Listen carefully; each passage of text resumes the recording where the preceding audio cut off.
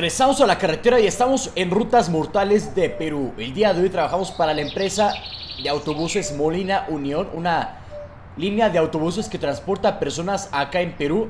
Y al mismo tiempo también trabajo para Marco Polo, así es. Marco Polo en conjunto con Molina me contrataron para hacer pruebas de conducción en las carreteras más peligrosas de Perú con este Marco Polo Scania G6 1800, doble piso por cierto y el autobús es bastante grande. Hoy sí le vamos a meter mucha velocidad. Hoy sí vamos a ir como unos locos porque De eso se trata la prueba de conducción La prueba de seguridad que quieren hacer. Quieren sacar resultados para ver qué se necesita mejorar en los autobuses. Y pues bueno, ya tenemos el autobús por aquí pintado Obviamente para, para que se sepa que Molina está haciendo esta prueba en colaboración con Marco Polo. Tenemos por aquí el autobús muy bien pintado, muy bien decorado también. Vamos a pasar a ver el interior. Por aquí traigo a mi evaluadora.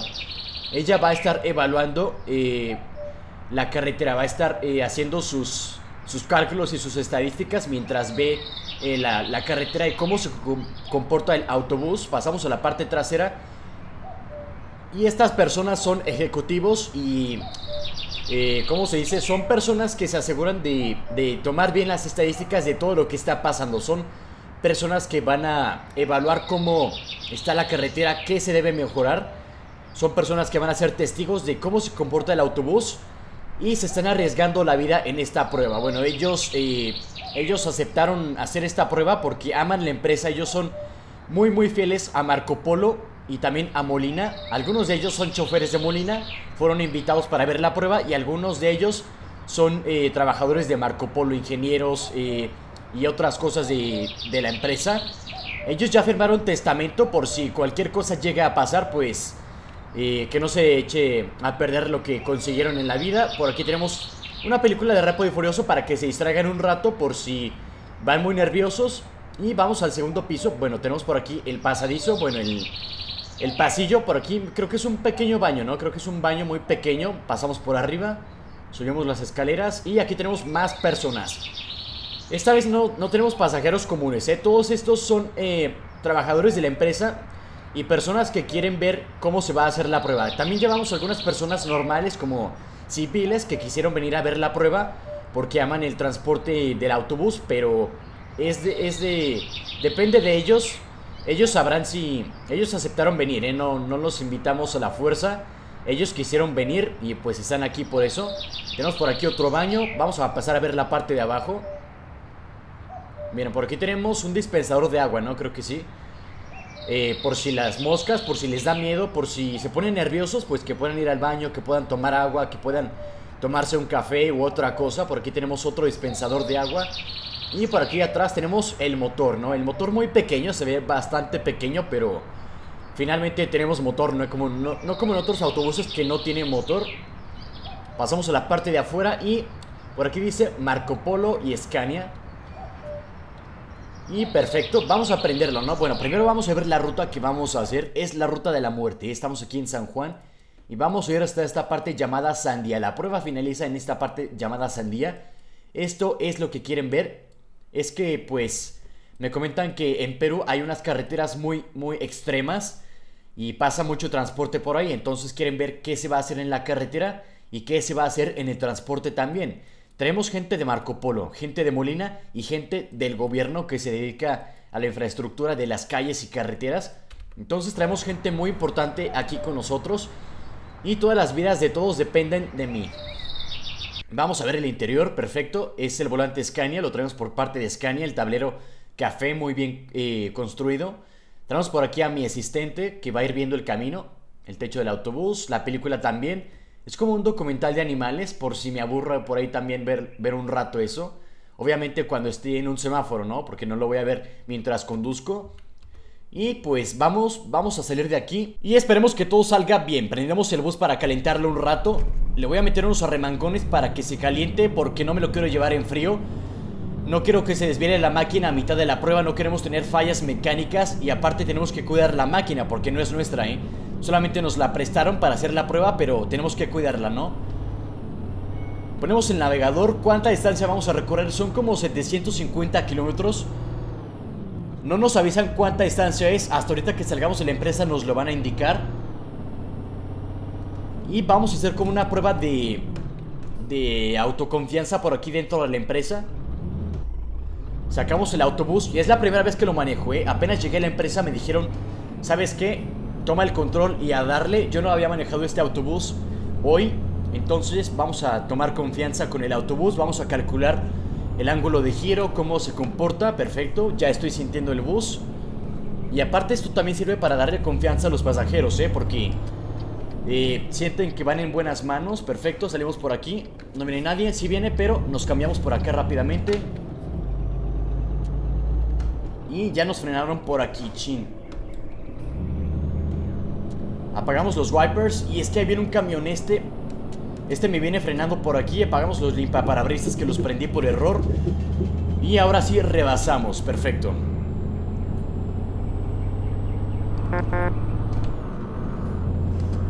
Damos vuelta por aquí por la izquierda.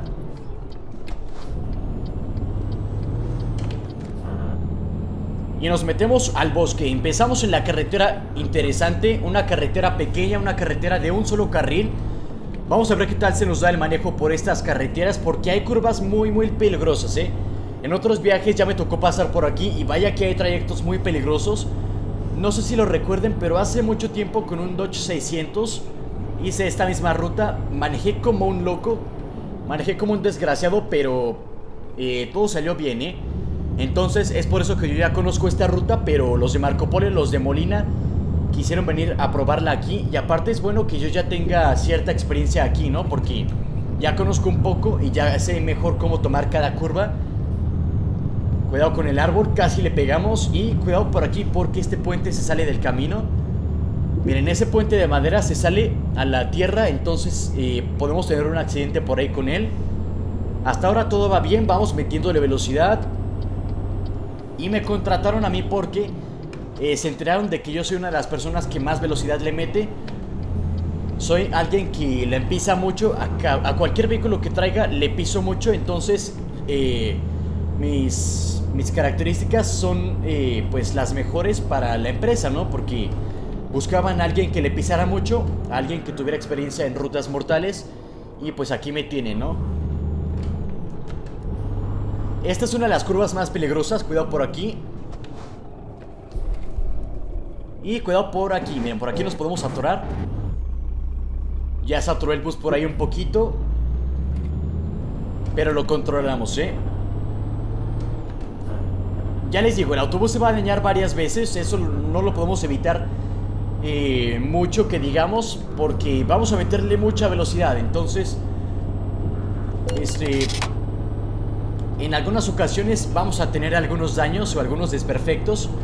Esperemos que no, esperemos que no sean tantos o ninguno si se puede, pero ya si nos dañamos en alguna parte o tumbamos un poste chocamos un carrito, pues ya ni modo, ¿no? Los daños están cubiertos por la empresa, el autobús está completamente asegurado. Entonces no hay tanto problema si se daña. Obviamente tenemos que cuidarlo para no quedar mal con la empresa. Pero si hay accidentes, pues y estamos protegidos.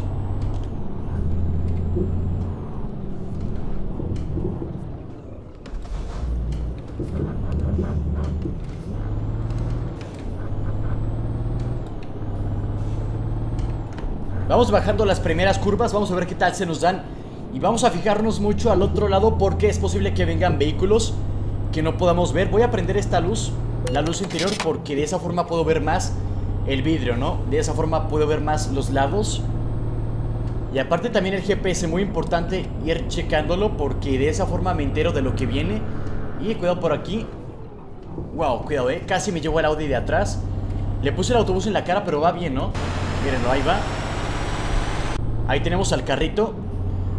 Calculé muy bien en, un, en una milésima de segundo para saber cómo salvarme del, del camión y del carrito.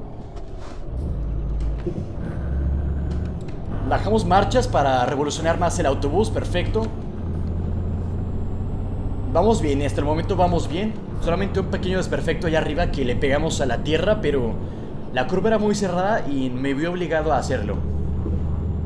Pero vamos bien, perfecto. Tomamos las curvas de esta forma porque ahora sí que no importa nada cómo tomemos las curvas.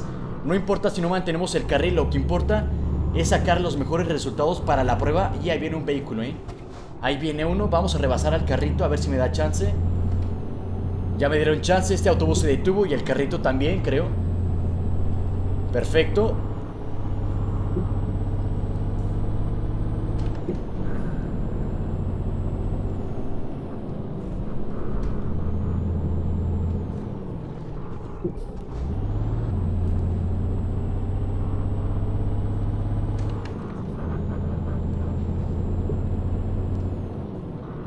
Una curva muy cerrada, cuidado por aquí con esta.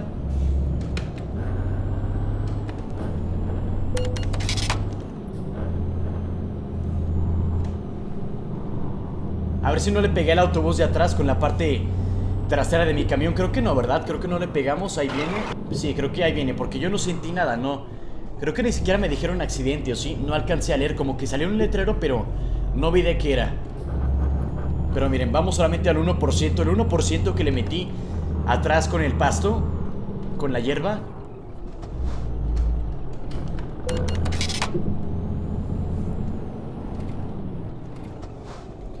Me quedo atrás de este Volvo porque creo que vienen más vehículos. Uy, cuidado, casi le pegamos por ahí. Miren, aquí hay un accidente. Un accidente de autobús. Un autobús se cayó, ¿eh? Aquí está la policía. Y es que hay un accidente, en otro video se los mostré. Un autobús en el fondo, en el vacío. Un autobús volteado. Y por eso están esas personas ahí.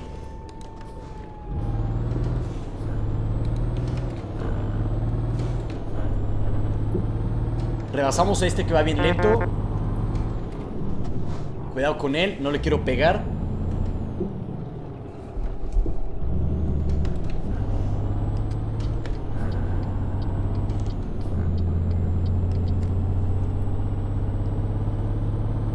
Y hasta el momento todo ha resultado bien. No, no le he pegado a nadie, solamente golpeé el autobús en una parte, pero eso es superficial. Solamente dañé la defensa una, una pequeña parte, pero ya eso no importa. Un pequeño golpecito con la tierra, pues como que no cuenta mucho, ¿no? Lo bueno casi no se cuenta, pero cuenta mucho. Pasamos por aquí abajo. Y vamos bajando las curvas más interesantes. Son las curvas, yo creo que las más interesantes que me he encontrado en, cualquier mapa que he probado. De verdad son unas curvas impresionantes. Ah, y también las del mapa de, de Corea del Sur.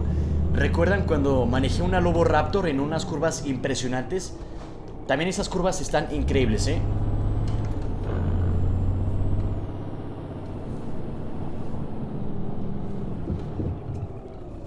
Bajamos con cuidado por aquí, bajamos la velocidad.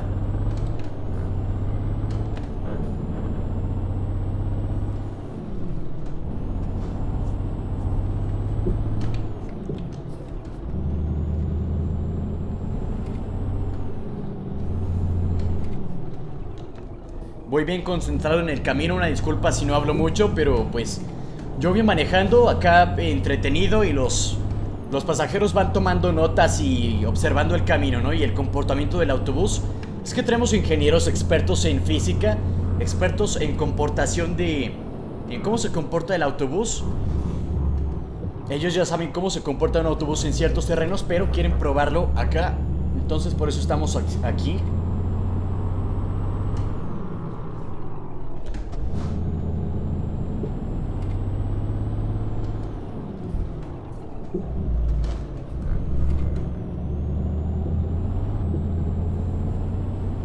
A ver si podemos rebasar este Scania.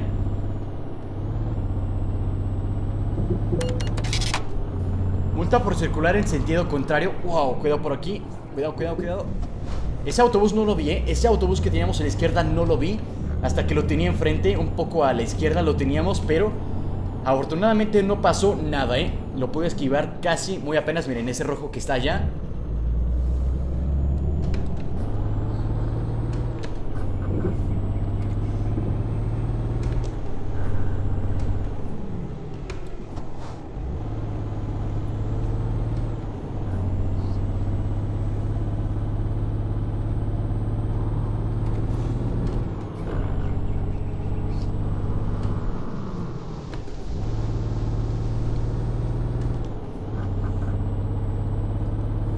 Por aquí trabajo forestal. Wow, ¿vieron esas llantas gigantescas? Creo que eran unas llantas, ¿no?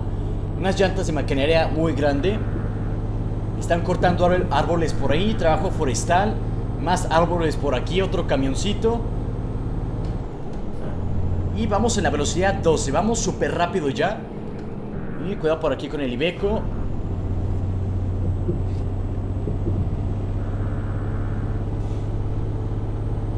Vamos sumamente rápido. Creo que ya acabamos, ¿no? Creo que ya acabamos la zona de curvas. Lo más interesante creo que ya lo acabamos. Miren, sí, ya lo acabamos, ¿sí? Bastante rápido. Todavía nos quedan muchas curvas, ¿eh? Como pueden ver ahí en el GPS nos indican muchas curvas aún, entonces las curvas pues no es el problema, ¿no? Todavía tenemos muchas más. Vamos a 160 como les había comentado.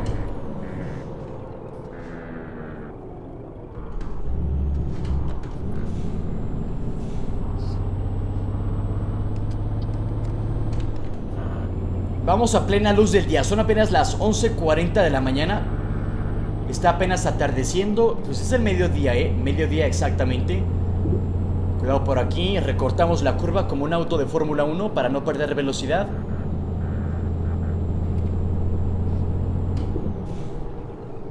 Y aquí sí, mucho, mucho cuidado, ¿eh? Porque creo que una vez por ahí con el Dodge 600 me fui al vacío por ahí. Creo que ahí tuve un accidente con el Dodge. Me caí por ahí, de verdad. Eh, de plano volé por ahí. Creo que fue en esa curva. De hecho, la miniatura tiene ahí accidente. Un video muy antiguo, de algunos unos tres meses más o menos de antigüedad, en el que circulé por esta ruta.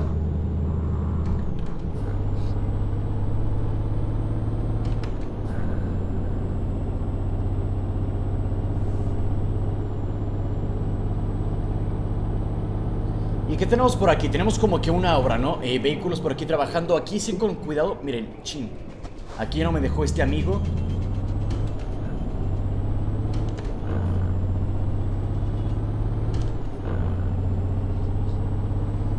Ahora sí, vamos a rebasarle.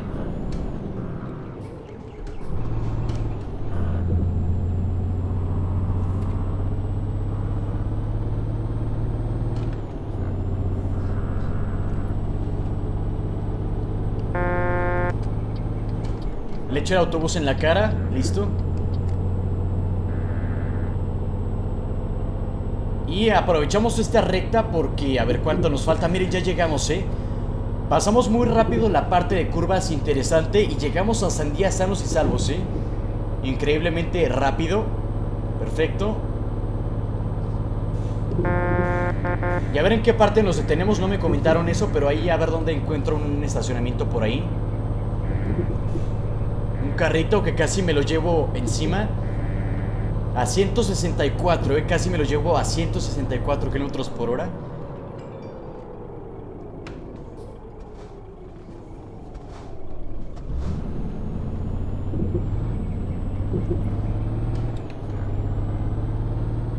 Pues los bajamos aquí en el taller, ¿no? Aquí nos detenemos un rato para ver qué tal. Estuvo la prueba.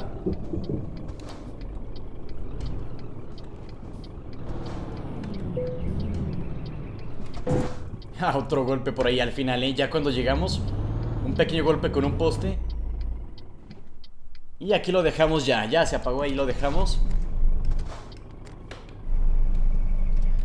Y pues bueno, llegamos sanos y salvos. El único golpe que tuvimos en el camino fue con eh, el, ¿Cómo se llama? La bola de, de césped que teníamos por ahí en una curva, una bola de pasto.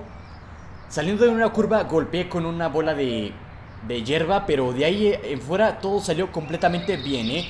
La prueba salió bien, ellos ya tomaron sus cálculos respectivos. Y vamos a pasar a saludar a la gente. A ver en el último video.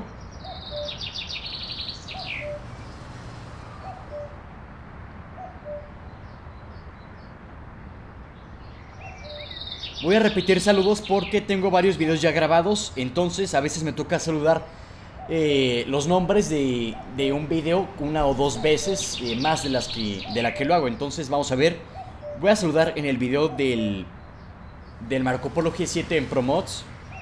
Voy a dar algunos nombres, María Gabriela,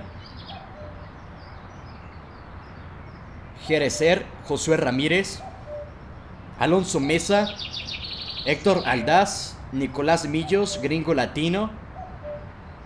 Samuel Valencia Báez, Carlos Eduardo Santos Jiménez, Mari Galvis, Steven Gamer, Javier Caicedo, Joan Posada, José Bernal, La Máquina, David Escorza, Tony Gamer, Hugo Cruz, Brian Rodríguez, Wagner Tutorele CJ, Axel Quintanilla, Dos Man, Jurman Vera, Gregor Rex 21, Salvador Hernández, Sebastián Arias, Lord Sub 14, Aldo Martínez Esquivel, Alex Coronado Parra, ex Nicolás X 1, Ángel TJ, Luis Motz, Juan Sebastián Mora Peña, Max de Red YouTube, José Pablo Rodríguez, Ever Sánchez y por último Kevin Pacheco. Nos vemos en el próximo viaje y la prueba salió excelente.